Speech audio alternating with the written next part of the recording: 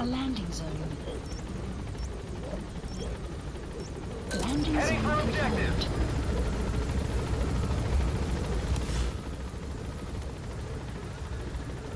Marker removed.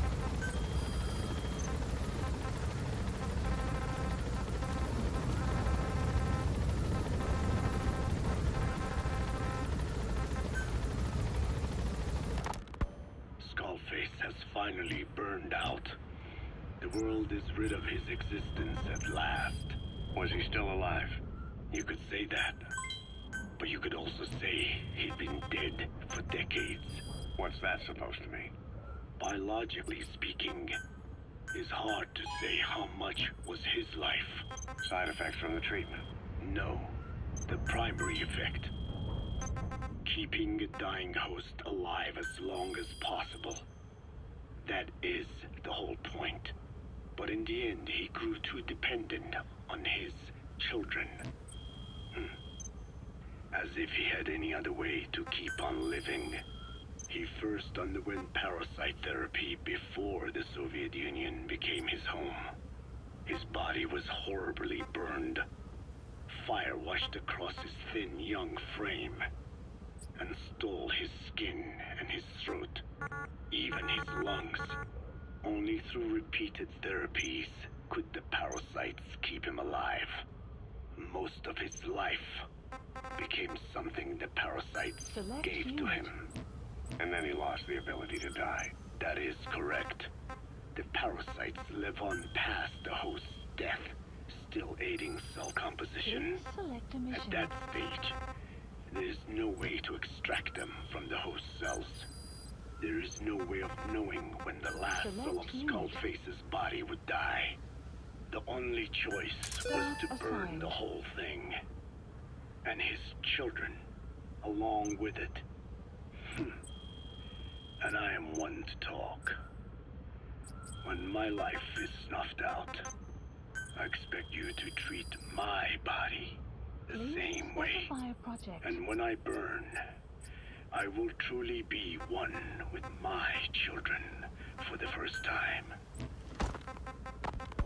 You say there were three English vocal parasites. According to Skullface? Yeah. Skullface had two of the English strain with him. You burned both of them. There was an oil fire. I tossed him in. So that just leaves one. And you tell me Skullface said he used it. He said it was very close to me. Very close. One of your comrades. Or someone ordered to kill you. Or he could have been speaking metaphorically. Hmm. Metaphorically. Close to your spirit. Close to your heart. specify a project. Someone who either loves you or despises you. The second one makes a long list. Whichever it is, act with caution. Skullface implanted someone with the English language strain. Who it is is irrelevant. Why? I tell you what Skullface really meant. Very close to you means you will be exposed. Hmm. All the infected here have been given the Wolbachia. Even if the vocal cord parasites infect them now, they cannot reproduce. But if there's a different host among us, host to the English strain, if that were the case, we'd see the symptoms. What about the non-English speakers? We have plenty of those, but the staff use English as a common language. But if that someone has not spoken English yet and begins to speak it now, there'd be another outbreak. The final mating pair of the English strain must be found immediately. Skullface is gone, but his threat still remains. On this base, Send me out on a do you boss. see what the final mating pair is? With him dead, those parasites know if you need are the stain he wished to leave upon the world. His thirst for vengeance Boss, in the flesh. Think. Does anyone here bear a grudge against you? Who would target you specifically? The ethnic cleansers that Code Talker mentioned. they weren't Skullface's true goal. All we have is circumstantial evidence, but here's my theory. It was Cypher who started developing the vocal cord parasites as bioweapons, parasitic weapons, and Africa was the testing ground for them.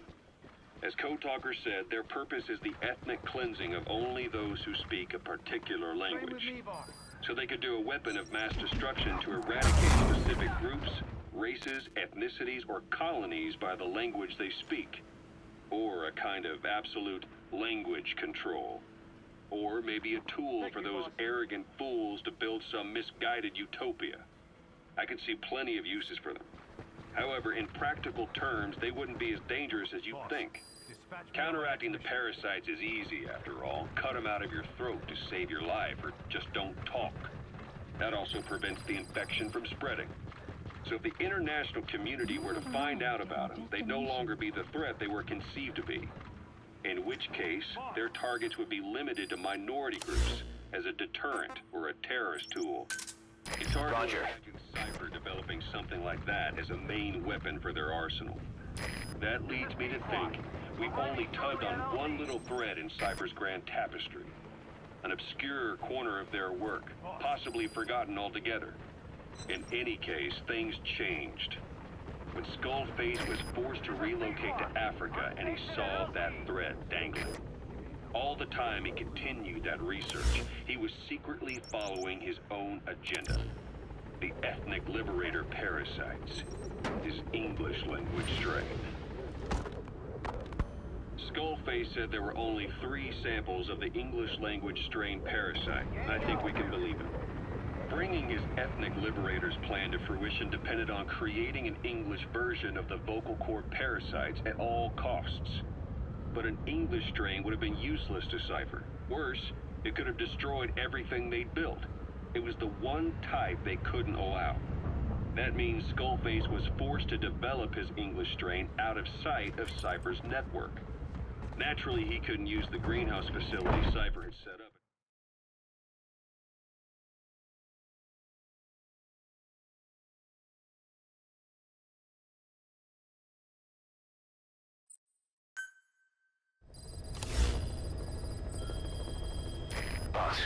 Been an accident in the boys' quarters.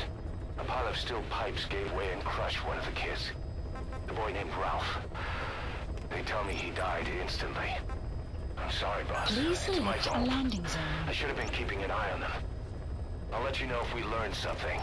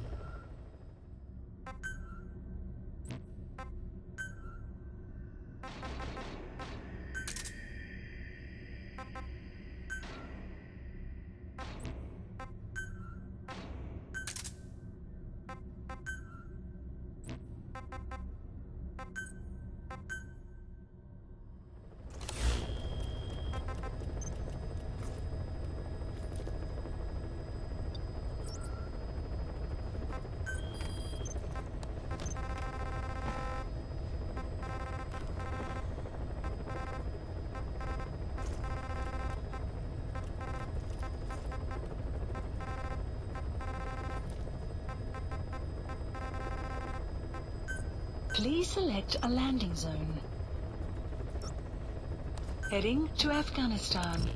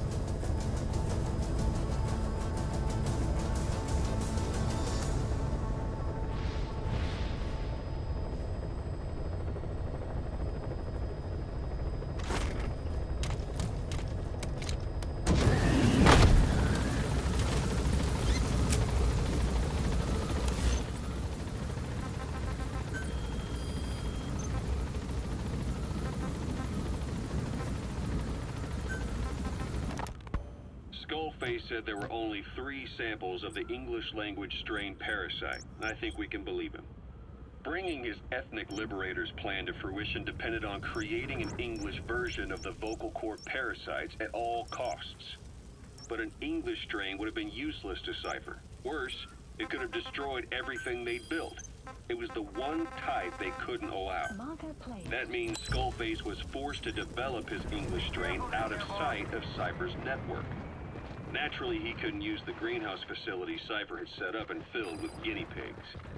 Skullface must have found some secret place to create his precious few English parasites, hiding all evidence like a man cheating on his wife. Somewhere, an entirely standalone environment. And when his plan entered its final phase, he must have made the place disappear. Enemy presence detected. Some little room could be anywhere, but now nowhere at all. We'll never know where he did it, but to elude Cypher's surveillance, it couldn't have been big. I believe Skullface was telling the truth. There were only ever three samples of the English language strain. Why activate Sahelanthropus in Afghanistan?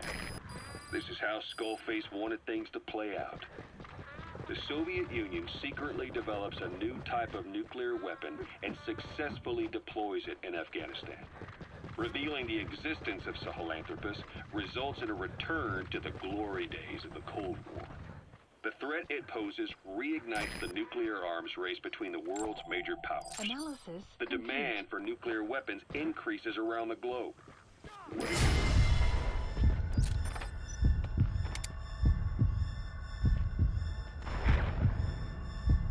Introduced a nuclear weapon anyone could get their hands on.